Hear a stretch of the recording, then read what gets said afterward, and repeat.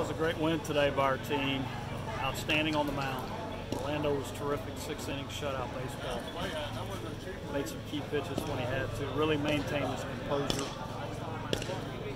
Lance, Max, and Marquez were terrific in their roles.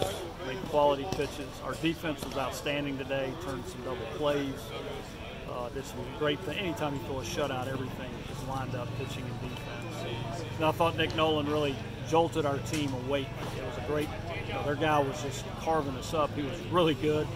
17 in a row, he sat down. And, uh, Nick hit that home run that really gave our team a lot of life. And I thought the key inning of the game was the bottom of the sixth. After the run we scored, we had to get a zero there.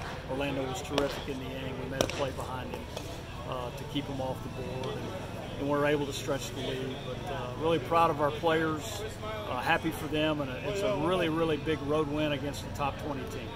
Coach, Orlando hadn't really looked himself this season since the first two weekends of the year.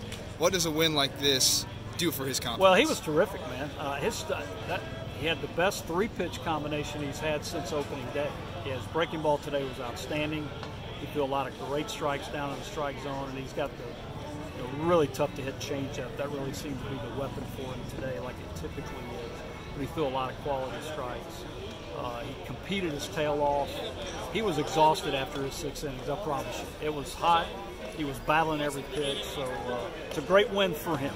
And I'm glad we were able to score with him in the game to give him a chance to win the game. Uh, when he throws six scoreless, you deserve the win, so I'm glad he got the win today.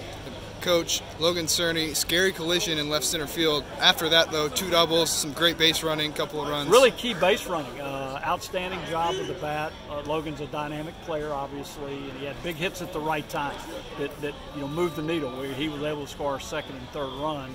And I'll give Caleb Bartolero a lot of credit. He put a tough two-strike pitch in play, got throwing extremely hard, put a ball in play to score that run, and uh, so we did some good things. But Logan finished today exceptionally well. He's a you know, a really, really good hitter, and uh, the two doubles came at a key time.